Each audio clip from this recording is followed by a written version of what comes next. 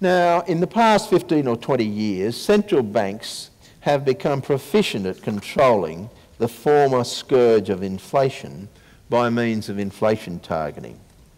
What they've not managed is to find a way to prevent the build-up of speculative asset price bubbles.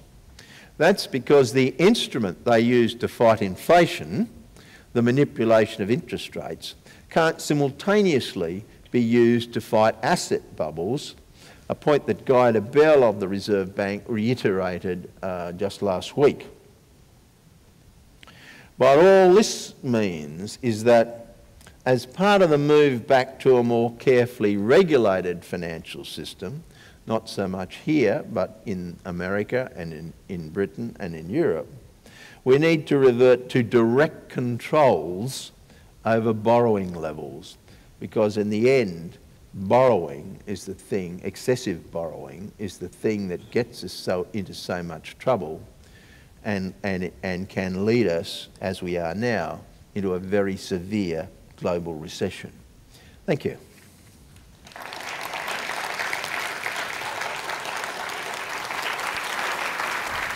a few days before the federal budget was released, I attended the opening of the Australian uh, Museum of Democracy, which is housed in Old Parliament House in Canberra. Uh, it, it, was actually a great occasion with several thousand people from the Canberra community mainly, but not exclusively, gathered before the steps of that grand old house for the free concert and the official opening by Bob Hawke. It was a simple celebration of our democracy, and if you're all interested, I'd suggest you uh, might want to check out the speeches by, particularly by Senator Faulkner, which was uh, just terrific about the, the roots of our democracy. At the Whitlam Institute, we take a great interest in Australian democracy. I mention it this evening because it struck me that it is quite an extraordinary thing that one of the most senior Treasury officials in the country, a couple of weeks after perhaps the most important budget in the post-war era, and I think a week before Senate estimates, if I'm right, would take time out to come to Parramatta to speak at a public forum explaining the workings of our economy and where we stand. It says something to me about the homegrown democracy we have, about the quality of our best public servants, of which David is certainly one, and more particularly about his generosity and commitment.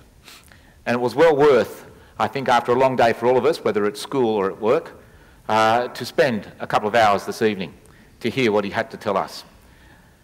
In the same vein, I would suggest that a healthy democracy depends more than ever on the diligence and integrity of our media and the determination of journalists to reveal what is shielded from us in language we can understand.